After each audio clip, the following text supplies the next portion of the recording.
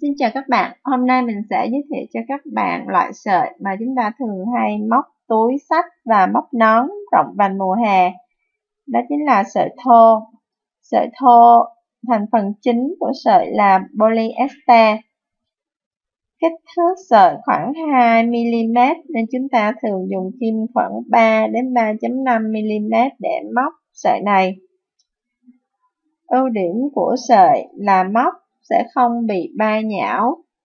Sản phẩm lên được đứng dáng hơn. Và sản phẩm giặt nhanh khô. Tuy nhiên nhược điểm của sợi là chúng ta sẽ móc hơi bị đau tay.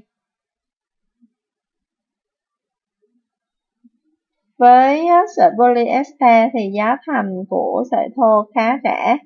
Một cuộn 200g giá khoảng 25 ngàn chúng ta có thể móc được một cái nón rộng vành cho người lớn.